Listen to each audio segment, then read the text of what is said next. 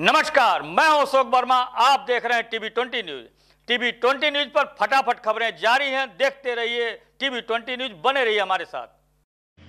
कोतवाली पुलिस ने दुष्कर्म के मामले में वांछित एक अभियुक्त को गिरफ़्तार किया है। बता दें कि पुलिस अधीक्षक आजमगढ़ सुधीर कुमार सिंह के निर्देश के क्रम में अपर पुलिस अधीक्षक नगर पंकज कुमार पांडे क्षेत्राधिकारी नगर निष्ठा उपाध्याय व कोतवाल के गुप्ता के नेतृत्व में थाना कोतवाली पुलिस की सफलता हाथ लगी है और पुलिस ने दुष्कर्म के मामले में वांछित चल रहे अभियुक्त को गिरफ़्तार किया है। बता दें कि पीड़िता सुचिता, जिसका काल्पनिक नाम है, निवासी काशीराम आवास, ब्लॉक नंबर बयालीस चार सौ सत्तानवे सी द्वारा दिए गए प्रार्थना पत्र के आधार पर थाना स्थानीय पर मुकदमा पंजीकृत किया गया था और विवेचना प्रारंभ थी इसके तहत आज पुलिस द्वारा चलाए जा रहे अभियान अपराध नियंत्रण के तहत पुलिस ने आज इन अभियुक्तों को गिरफ़्तार कर लिया है।